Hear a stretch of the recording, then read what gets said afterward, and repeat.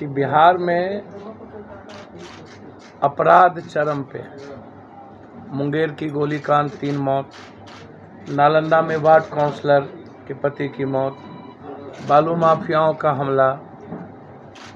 सद्दाम की मौत। बेटियों को बचाने में माँ की मौत। छेड़खानी में बेटियों पर गोली। बीजेपी के नेता क्रिमिनल का विरोध किया। विनय बिहारी तो उनकी मौत। लगातार मौत ही मौत।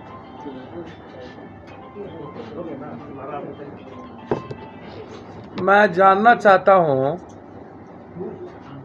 सरकार से और विपक्ष से, दोनों आदमी को एक दूसरे की आलोचना के अलावे कोई मुद्दा बिहार का क्यों नहीं दिखता? है और विपक्ष के लिए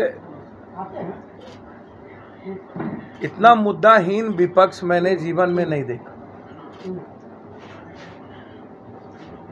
मुकेश सैनी या कोई सैनी वो एक गलत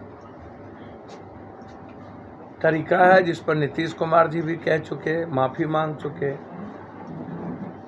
अब जिस तरीके से नीतीश कुमार जी का इस्तीफा अरे भाई, बालू माफिया पर क्यों नहीं बोलते हो? जो दोनों आदमी मिल करके खेल खेल रहे हैं बिहार में। बालू माफियाओं में विपक्ष की मुँह इसलिए नहीं खुलती है कि आधा शेयर विपक्ष के पैसे का है। मैं चैलेंज करता हूँ विपक्ष और सत्ता पक्ष को। आपके सारे एमएलए एमएलसी बालू में इन्वॉल्व हैं या नहीं? आप बालू माफियाओं के खिलाफ सदन में बात क्यों नहीं करते हैं? आप शराब में लोग मरे, उस पर बात क्यों नहीं करते? देवेंद्र वर्मा की हत्या, मर्डर कर दिया गया। एक विधायक उसमें इन्वॉल्व है, उस पर आप बात क्यों नहीं करते? इतने दलित शराब में मर गए, आप उसकी बात क्यों नहीं करते हैं? क्योंकि शराब में दोनों का पैसा इन्वॉल्व बालू में भी दोनों का पैसा इन्वॉल्व है, शराब में भी दोनों का पैसा इन्वॉल्व है और ज़मीन की माफियाओं में भी दोनों का पैसा इन्वॉल्व है, जिसके चलते मर्डर पर मर्डर होते जा रहे हैं।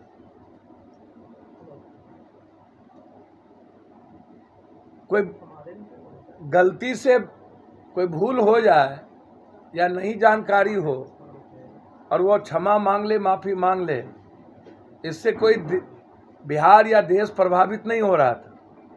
जिन मुद्दों से प्रभावित हो रहा है, सदन में एक बार भी रुपेश हत्याकांड का मामला क्यों नहीं उठा?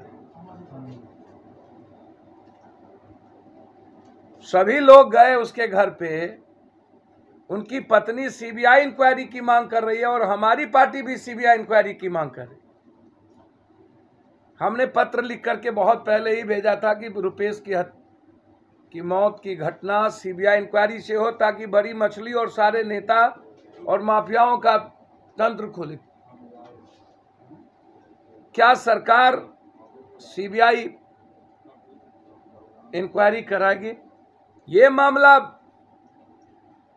अब सरकार कहती है कि मैं ईडी से बाहर जो भेज रहे हैं, अरे सरकार से मेरा डिमांड है, पहले ईडी के द्वारा पदाधिकारियों का संपत्ति जब्त कीजिए ना जो शराब से अकूट पैसा कमाया है और नेताओं का। मैं चाहता हूँ पहले उसकी ईडी, आप कह रहे हैं कि मैं ईडी से जब छाप करूँगा। तो भैया, नेता और पदाधिकारी को जो अकूट पैसे मिल रहे हैं, उनकी संपत्ति की जाँच क्यों नहीं हो रही? जो माफिया पूरा का पूरा अब डेड लाइन नीतीश कुमार जी बोल नहीं रहे हैं, पाँच साल हो गए, पचास हज़ार करोड़ से ज़्यादा का पैरल इकोनॉमी चल रही है और उस पर डेड लाइन नहीं बोलेंगे, हम डेली रिव्यू कर रहे हैं। नीतीश कुमार जी, इच्छा शक्ति जगाइए ना, आपके पदाधिकारी आकंठ डूबे हुए हैं।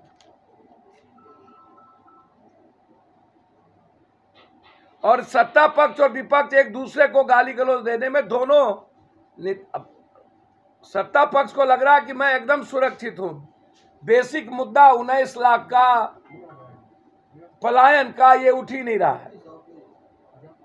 शराब का मुद्दा उठ ही नहीं रहा है।